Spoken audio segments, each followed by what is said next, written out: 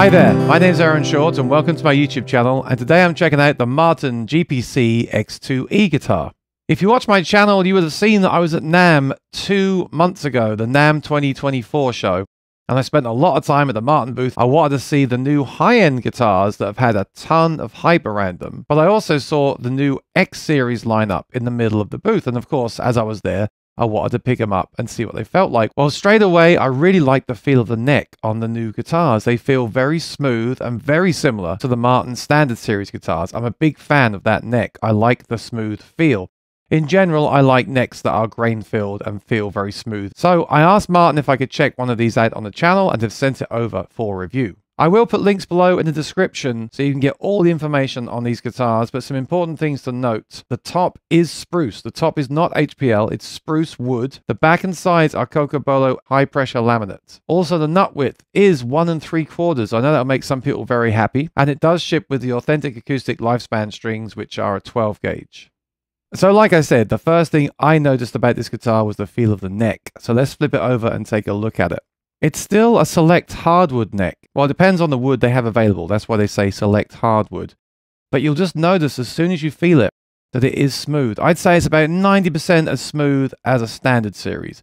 It's not quite the same quality of a standard series, of course, because they are the standard series, but it's way improved. But I'm sure you can see the other big change here is the back. Now, this is HPL. This is printed, and there's several different looking backs and sides to these guitars. This happens to be my favorite. I didn't choose this. This is just the one that Martin sent over. But I love how this back looks and it's so subtle as well. Some of them are more in your face. They are all pictures of real pieces of wood from the Martin custom shop. So bear that in mind. These are not stock images. And this is HPL, but this is incredibly durable. It's pretty much impervious to the elements and the weather. And I think that looks really nice. On the front, you can see they have refined the rosette. If you watch my channel, you'll know I love abalone rosette. And that's basically what this is. It looks really classy. It really gives some flash to the top of the guitar without being too much. Also, this is a more modern bridge with a soft taper to it. It feels really nice to the touch, very smooth and there's no rough edges. This is not a bone saddle. A lot of people watching are going to say they want to put a bone saddle and bone nut in the guitar.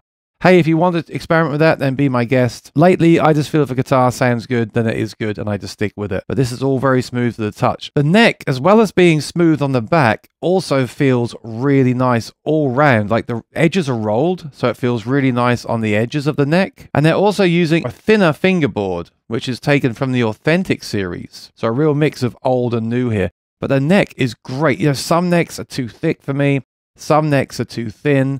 This neck just feels super comfortable, smooth. It plays really well. The action is really good. And last but not least, we have Saturn tuners. They work very well. It keeps its tune. I think they really did it just so you can tell that this is the new kind of reimagined X series. If you see this hanging on the wall, you can tell straight away from the tuners this is the new version.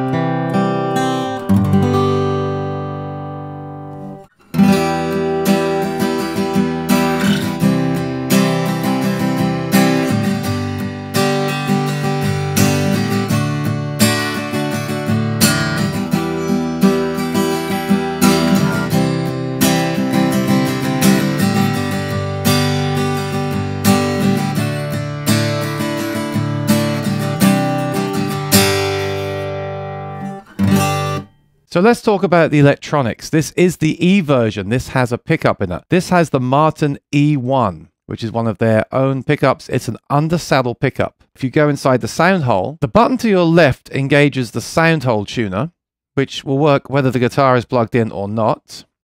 I really like that. It's probably my favorite thing about the pickup system in this guitar. It's also very accurate. So you see, it shows you the note and tells you if you're sharp or flat. So if I'm flat, the dots are to the left, and as I turn sharper, the red dots turn green.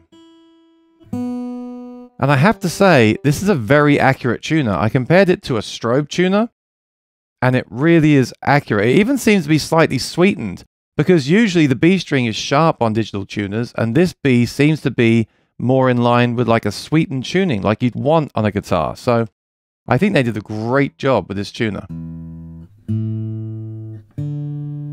And the fact that it's always in the guitar is awesome. When you are plugged in, that will mute the output so people don't hear you tune. What we have here is a pickup under the saddle. So it's an under saddle pickup. The pickup is under here. The first thing to check for is the balance of the strings. So we have two controls. We have volume and tone. I'll leave the tone off for now, volume at maximum. There is a battery in here and it's very easy to replace it. It's a very cool battery compartment. And by the way, if you do end up replacing this pickup and you have another pickup with a battery, you could reuse the battery compartment if you wire the replacement system into this. One issue with many undersaddle pickups is string balance if they're not installed correctly at the factory. So let's check that. The thing to listen for is a weak high E string. Let's see what we think.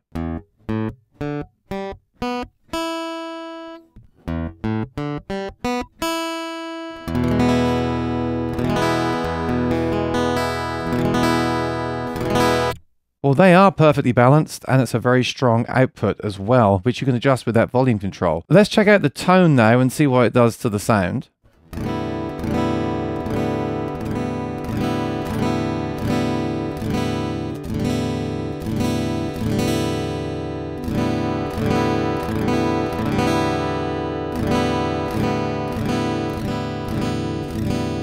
This is great. It's only cutting the mid around 1K. And that really drastically improves the tone, especially for strumming. If you're playing lead or fingerstyle, you may want to have that mid range control off to cut through the mix. But if you're strumming, you definitely want to cut that out. Check out the difference between having the control off and about 50% of the way.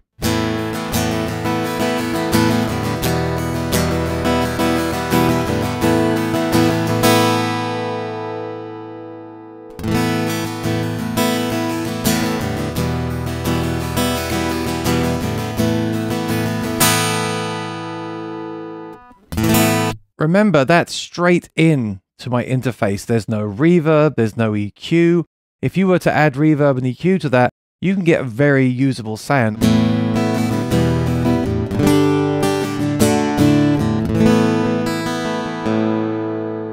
Of course, if you want something more professional, you can get something like an Anthem SL or a Soundhole pickup from Fishman with a mic in it. That's going to give you a much more realistic sound but also could cost upwards of a third, even a half as much as the guitar is worth. So I do understand why it doesn't ship with one of those. I would see how you go with the system that's in the guitar because I actually think it's a very solid system. And I think with the right EQ, you can get a good sound out of this. The reason I'm hesitant to tell you to change it from day one is because I really like the tuner.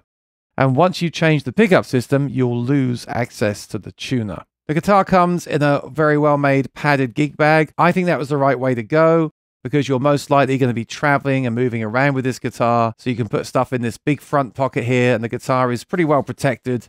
It's got some really nice lining and padding in there. A very nice blue color, as you can see. On the back, one thing I did notice is we now have a single kind of sling style strap rather than two shoulder straps. This might be the only thing that I'm not a huge fan of with this revision.